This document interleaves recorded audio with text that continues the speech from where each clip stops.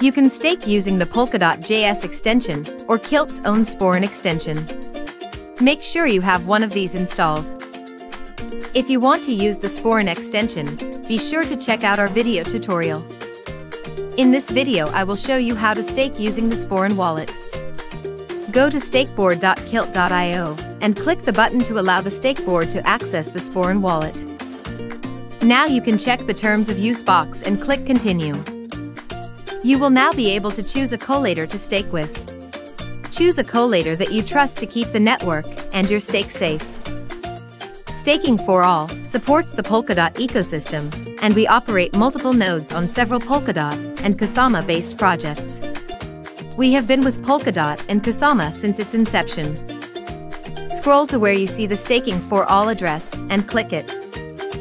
Select the identity you want to stake with and the stake amount you would like. Then click Stake. This box will pop up and ask you to confirm your stake. Once you click Stake, this message will pop up and your Sporran wallet should also pop up. You will be able to put in your password to sign the transaction. If the Sporran wallet does not pop up, you can click on your extension icon, and that will make the wallet open.